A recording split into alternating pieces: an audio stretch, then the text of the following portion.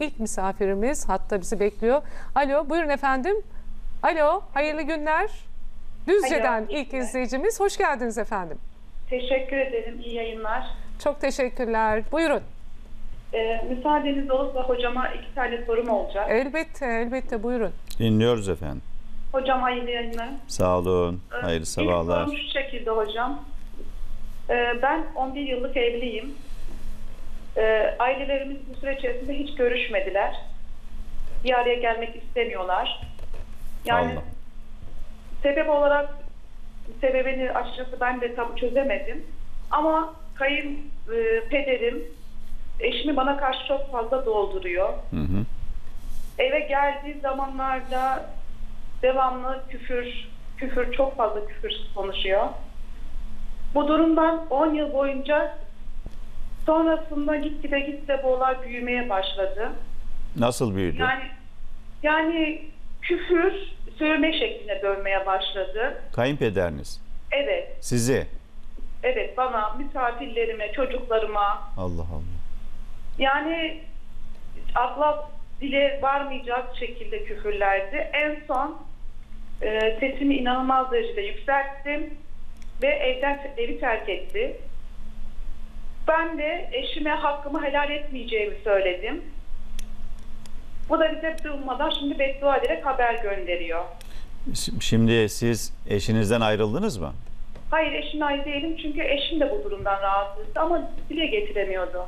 Ha, eş- eşinize e, kime hakkınızı helal etmediğinizi kayınpeder için. Kayınpederime. Ha, eşinize bunu söylediniz. O da bunlardan sizden yana oluyor. Babasını tutmuyor. Benden yana oldu. Evet. Babasını tutmuyor. Babanın öyle bir hakkı yok ki. Ko- Kocanın da hakkı yok. Yani dövecek, şöyle küfredecek. Hocam şöyle bir durumumuz da var. Biz zaten sadece bayramdan bayrama memleketimizde görüşüyorduk. Ama iş sebebiyle iki yılı giden bakıyorum ona. Bu süre içerisinde eve durmadan misafir çağırıyor. E, çocuklarıma küfür ediyor. Ben de bu durumda rahatsız olduğum için gönderdim bir nevi. Bunun bende hakkı var mıdır? E Şimdi hakkı yok da e, siz zaten hiç görüşmeseniz hakkınız var. Ya bir insanın malına, canına, namusuna zarar veren insan babası da olsa onunla alakayı kesebilir, mesafe koyabilir. Bu kayınpederinizin sizin üzerinde bir hakkı yok ki. Evin düzeniyle ilgili, çocuklarınızın durumuyla ilgili eşiniz hani siz vazifenizi yapmamış olabilirsiniz, ihmal edersiniz, bir yanlış yaparsınız da eşiniz sizi ikaz eder.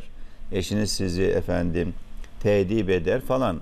Bu ya da siz eşinizi tedip edersiniz. Yani ikaz eder, sikaya çekersiniz, hesaba çekersiniz.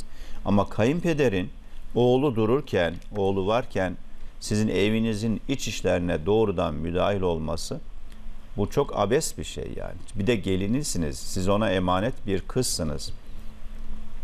Dolayısıyla siz e, mesafe koyabilirsiniz. O ne derse desin. Hangi bedduayı ederse etsin kendine döner. Zaten vurmak, dövmek, küfretmek dinimizde yok ki.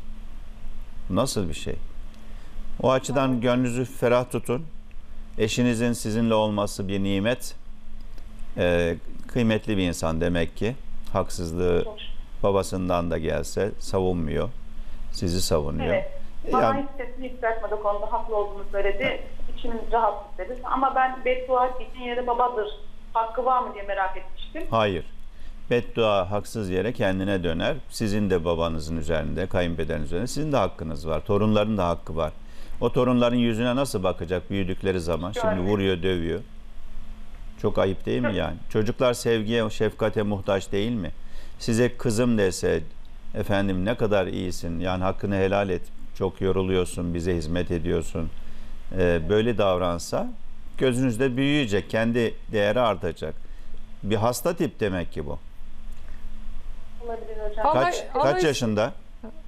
60 yaşında. Ha, daha gençmiş de Hasta ya. hasta.